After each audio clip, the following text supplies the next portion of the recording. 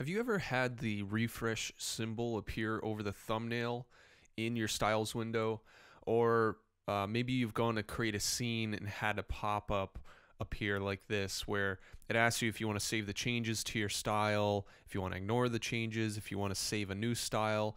If you don't know what that means, um, that's what this video is going to be all about.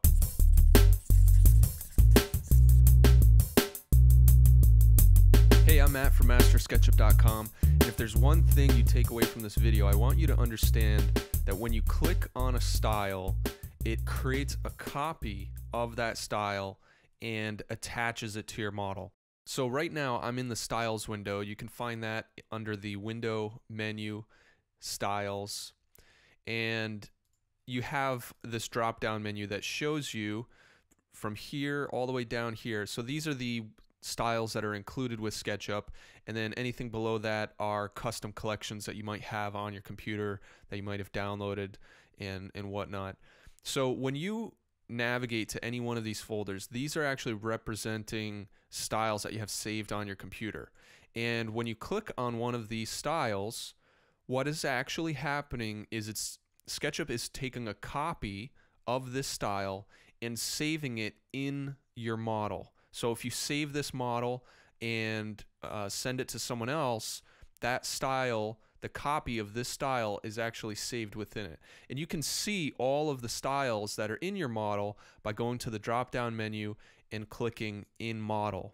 You can also just click this, um, this icon right here. This is a shortcut so you can see all the styles that are in your model.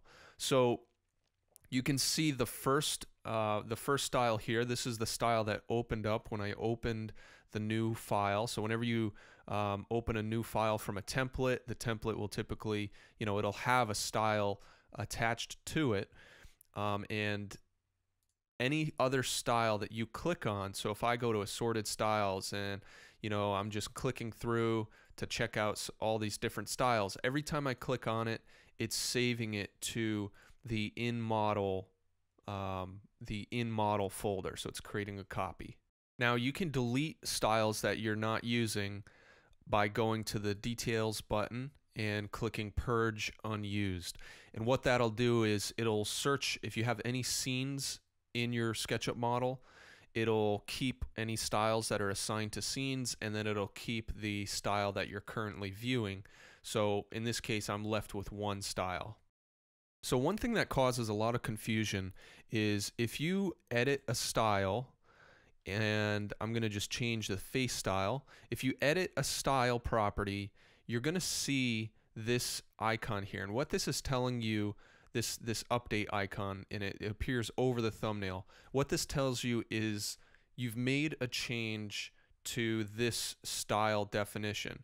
So remember that's the style that's that the copy of the style that's in your model, you've made a change to one or more of the properties.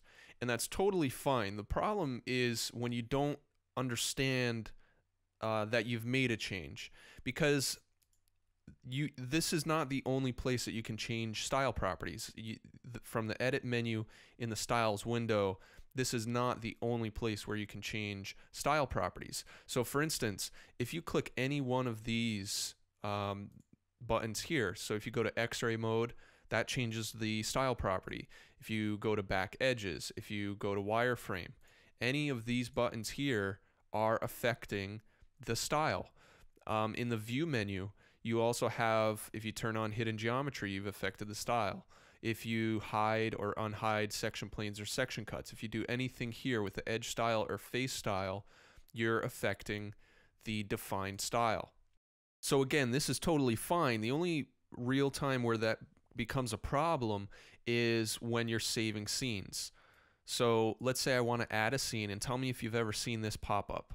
So I just went to add a scene and I have this warning window that pops up and it says you're creating or updating a scene and you've you haven't saved the changes that you've made to your style.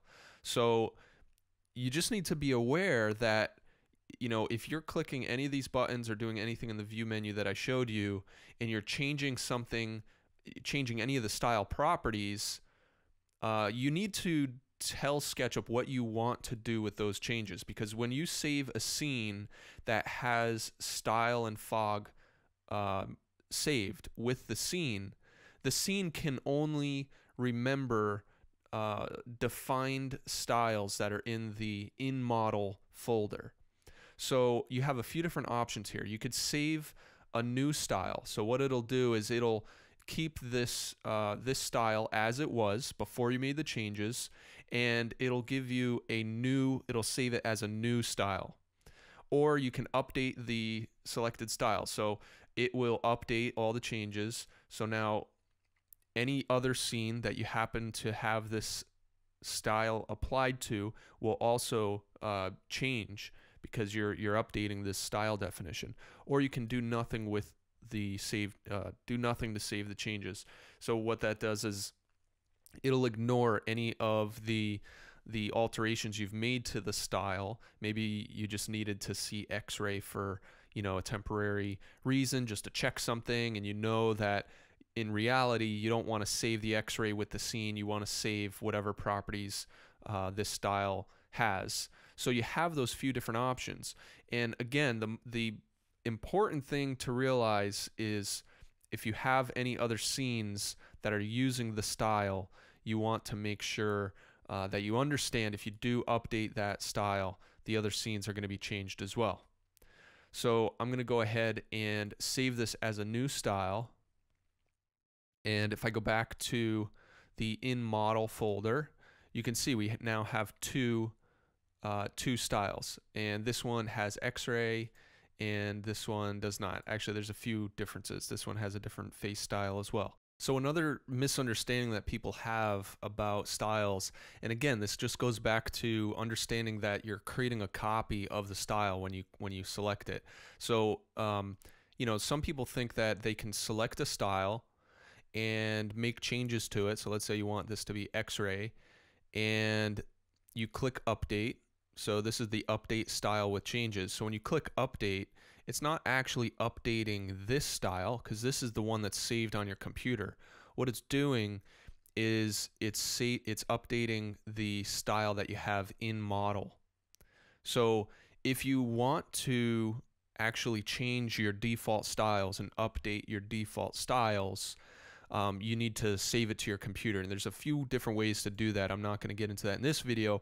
I'll link to, in the description below, I'll link to an article that will uh, explain more on how to save styles for future use, either in a template or create your own collection, which is really just a folder, and uh, you add the folder to your favorites, add collection to favorites.